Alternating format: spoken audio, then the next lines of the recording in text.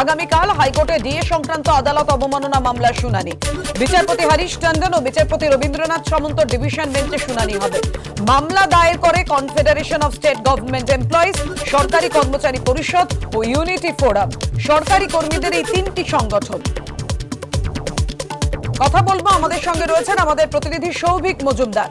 সৌভিক, আমরা জানি যে আদালতের নির্দেশ অনুযায়ী ডিএ না মেলায় আদালত অবমাননার এই মামলা দায়ের হয়েছে।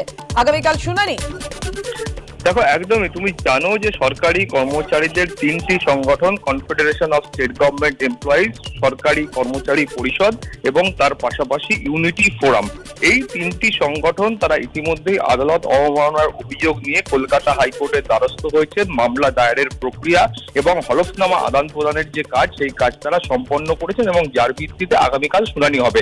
আর মূলত অভিযোগ করা হয়েছিল যে বিশে মে কলকাতা হাইকোর্টের মহামান্য বিচারপতি হরিশ টন্ডনের ডিভিশন বেঞ্চ আর তারা নির্দেশ দিয়েছিলেন যে তিন মাসের মধ্যে মহার্ঘ ভাতা প্রদান করতে হবে এবং এই মহার্ঘ ভাতার অঙ্ক কত হবে সেটা সরকারের তরফ থেকে হিসেব নিকেশ করে তারপর তারা কর্মচারীদের এই বকেয়া মহার্ঘ ভাতা প্রদান করবেন। কিন্তু সরকারের তরফে পাল্টা যুক্তি ছিল যে ইতিমধ্যেই যে মহার্ঘ ভাতা প্রাপ্য সেই মহার্ঘ ভাতা দেওয়া হয়ে গিয়েছে ফলত বকেয়া কোনো মহার্ঘ ভাতা নেই। কিন্তু কর্মচারীদের পাল্টা যুক্তি ছিল যে, না, মহার্ঘ ভাতা এখনও পর্যন্ত বকেয়া রয়েছে। ফলত এই যুক্তি এবং পাল্টা যুক্তির মাঝখানে কলকাতা হাইকোর্টের তরফ থেকে নির্দেশ দেওয়া হয় যে বকেয়া মহার্ঘ ভাতা তিন মাসের মধ্যে প্রদান করতে হবে কিন্তু সেই কাজ সরকারের তরফ থেকে না করায় তারা কিন্তু সরকার কলকাতা হাইকোর্টে পুনর্বিবেচনার আর্জি জানায় সেই আর্জিও কলকাতা হাইকোর্ট খারিজ করে এবং সেই সময় সরকারি কর্মচারীদের তিনটি সংগঠন তারা কিন্তু আদালত অবমাননার এই অভিযোগ দিয়ে কলকাতা হাইকোর্টের দ্বারস্থ হন এবং তার পাশাপাশি তোমাকে বলব ইতিমধ্যে কলকাতা হাইকোর্টে পেশ করা হলফনামায় সরকারের বক্তব্য যে তারা ইতিমধ্যে এই মামলা নিয়ে সুপ্রিম কোর্টের দ্বারস্থ হয়েছেন।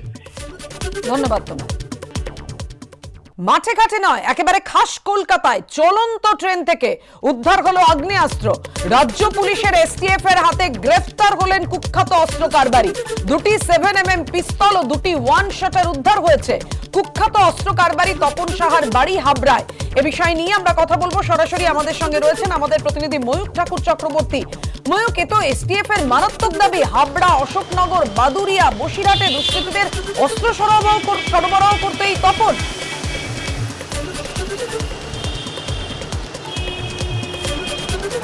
দেখো, একদমই পাপিয়া এই এবং এই তপনের বিরুদ্ধে আগেও পুলিশের কাছে অভিযোগ ছিল, এসটিএফ এর কাছে ইনফরমেশন ছিল যে তপন বাড়ির বাইরে রয়েছে এবং বিহারে তার টাওয়ার লোকেশন পাওয়া গেছে।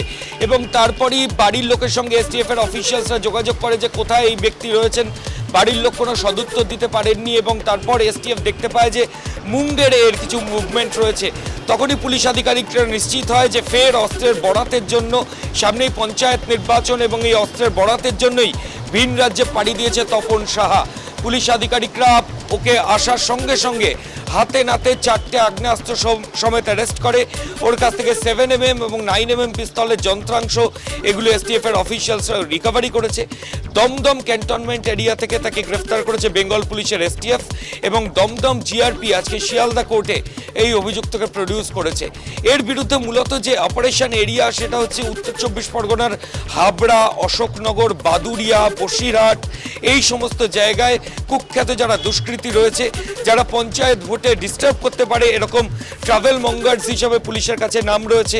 সেই তাদেরকে অস্ত্র সরবরাহ করার বরাত কিন্তু এই অভিযুক্তর কাছে ছিল, এমনটাই সূত্র মারফত জানা যাচ্ছে। তবে কোথায় কোথায় অস্ত্র দেওয়ার কথা ছিল, এর আগে কটা কনসাইনমেন্টই তপন সাহা করেছে, সেগুলো আজকে আদালতে তোলার পর নিজেদের হেফাজতে নিয়ে এসটিএফ এর আধিকারিকরা দেখবেন।